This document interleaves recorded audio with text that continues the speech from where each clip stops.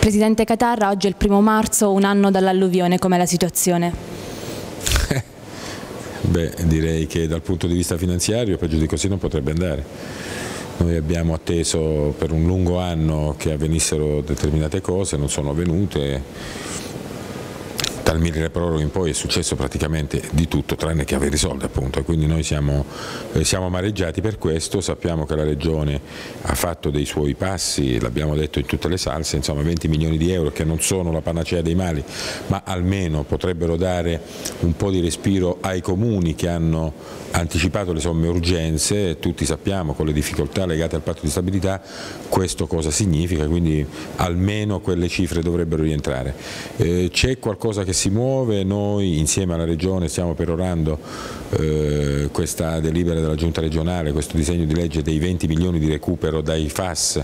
eh, non spesi, dei residui dei FAS e eh, notizie ufficiose la danno addirittura d'arrivo. Fra questo CIPE, quello di oggi, giovedì, e quello del prossimo, la prossima riunione del CIPE, questa, eh, questo provvedimento dovrebbe essere approvato. Eh, noi naturalmente lo auspichiamo sarebbe una prima risposta, non sufficiente ripeto, ma comunque sarebbe una prima risposta. Nel frattempo la provincia mm, ha fatto molto più di quello che eh, era umanamente possibile fare, Abbiamo avuto purtroppo una seconda eh, calamità che è stata quella della neve che ha anche interrotto i lavori di eh, rifacimento del ponte famoso sul, eh, sul fiume che, che, interrompe praticamente il flusso del, del, del traffico fra la Val Vibrata e la provincia di Teramo e tutto il resto della provincia di Teramo